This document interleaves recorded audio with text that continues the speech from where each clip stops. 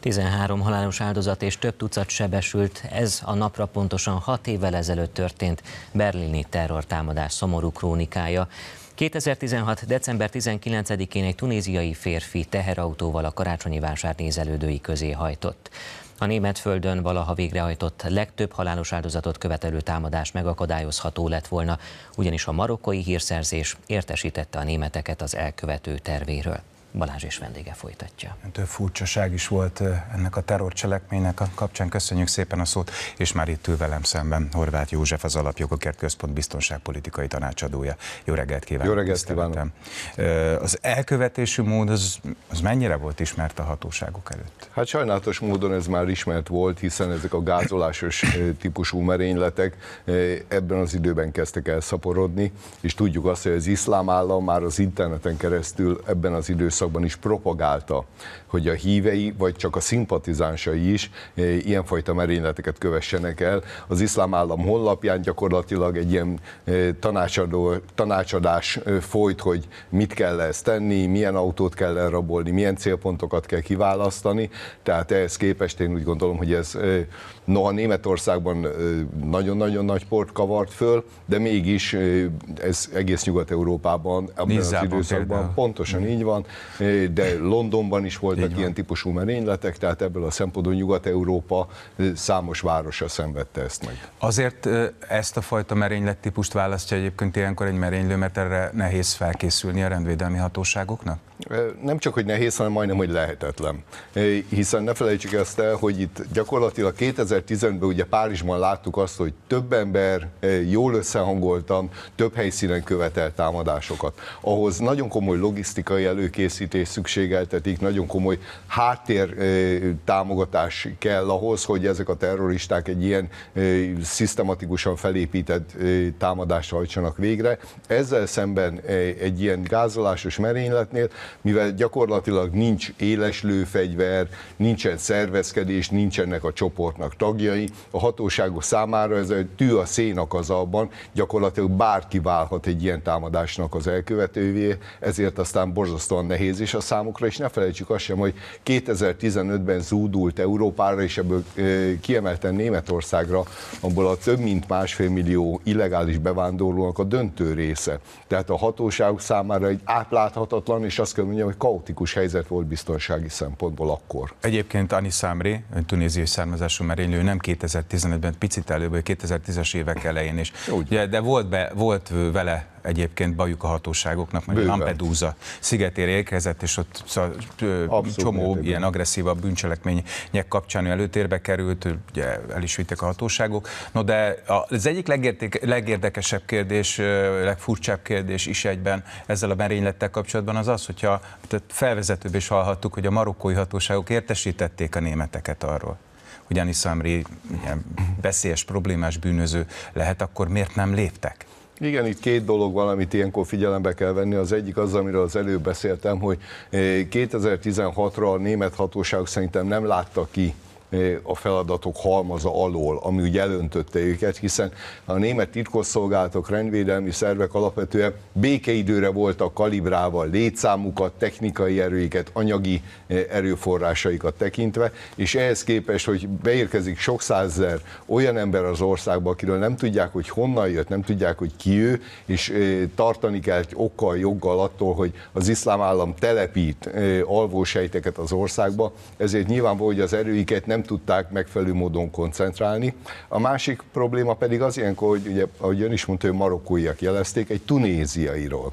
Tehát ilyenkor azért a szolgálatokon belül eh, mindig fölmerül az, hogy nem arról van ez szó, hogy mondjuk a marokkói tunéziai ellentétet eh, jelenítik meg, és a marokkói titkosszolgálat most egy tunéziait akar úgy látókörbe hozni. És nem vették komolyan? É, lehet? Igen, ne zárjuk ki, hogy nem vették komolyan. É, annál is inkább, mivel ilyen bejelentésből egyébként egy szolgálatnál naponta tucatnyi is van, akár Németország esetében, és abban az időszakban nyilvánvaló, hogy több száz is volt ilyen bejelentésből, és akkor mindig súlyozni kell, itt rosszul döntöttek. Ha már a hatóságoknak a munkájáról, vagy a rendőrvédelmi szervek munkájáról beszélünk, azért azt is említsük meg, hogy 24 órán belül gyakorlatilag azonosították a támadót a berlini terrorcselekmény után, de ugye ő megszökött Németországból, és gyakorlatilag négy ország határát átlépve öt napon keresztül menekült, négy napon keresztül, az ötödik nap hajnalán ugye Milánó elővárosában lőtték le az olasz rendőrök, miután egyébként tüzet nyitott rájuk. Van-e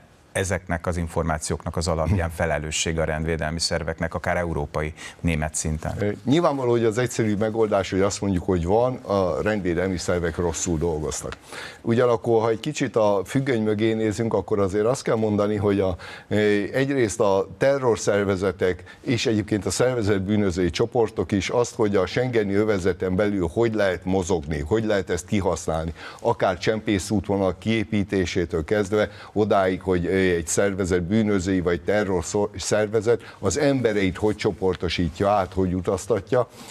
Gyakorlatilag Európa az egy nagyon kicsi földrész, hogy néhány száz kilométeren belül két-három országot át lehet lépni, és onnantól kezdve már nagyon nehéz nyomon követni őket, és ne felejtsük azt sem, hogy itt is pusztán a jó szerencsének volt köszönhető az, hogy a olasz kisrendőrök jól reagáltak, és megfelelőképpen hatástalanították ezt ezt az embert, mert ha nem így van, akkor még több áldozat lett volna Olaszországban is akár a terrorcselekmény kapcsán, a berlini terrorcselekmények kapcsán, de akár más terrortámadások kapcsán, aztán gyakran szóba került 2015 után főleg, hogy van-e kapcsolat a migráció és a terrorizmus között. Ugye ez, ez a kérdés gyakran felvetült Igen, hát ez egy ilyen, én azt gondolom, hogy szakmaiatlan és méltatlan vita volt, amit a politika meg a média igyekezett fölülírni a józan észsel és a szakmai ismeretekkel szembe, hiszen akár ebbe a stúdióba is már 2015-ben többen elmondtuk, hogy itt nagyon szoros, szinte okokozati összefüggés van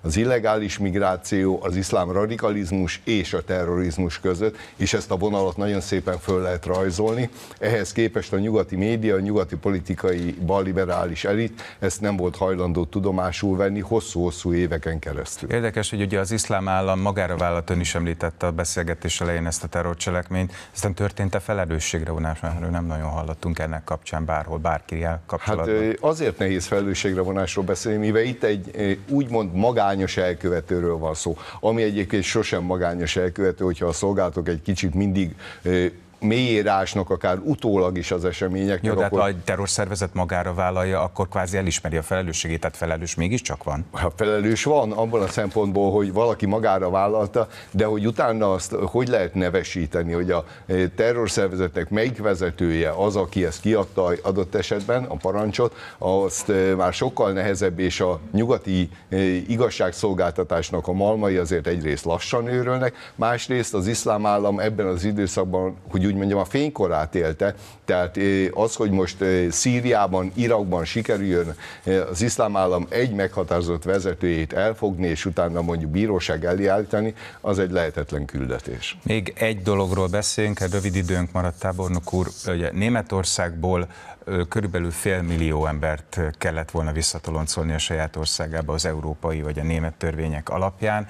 Ugye, ha csak a 2015 és 2019 közötti négy évet nézzük, 20 ezer embert sikerült visszatoloncolni a saját országába. Miért és mi van a többiekkel? Hát mert a e, nyugat-európai politikai elit ezt már nem meri fölvállalni, és ha megengedi most e, éljünk a gyanúperrel, hogy az a 20 ezer is utána visszajött még Németországba, akár más személyazonossággal, újra útra kell, hiába toloncolták ki, hiába fizettek neki azért, hogy hagyja el Németországot adott esetben.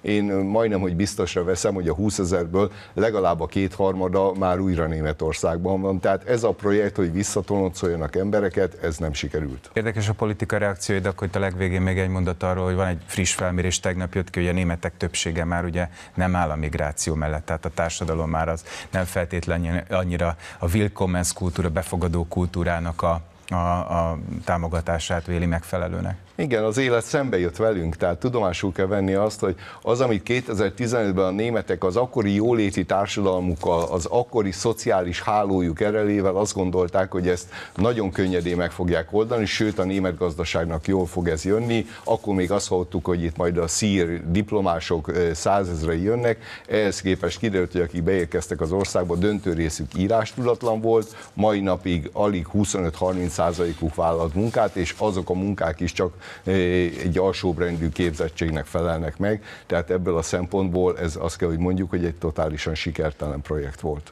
Köszönjük szépen, hogy elfogadta meghívást. Köszönöm én is.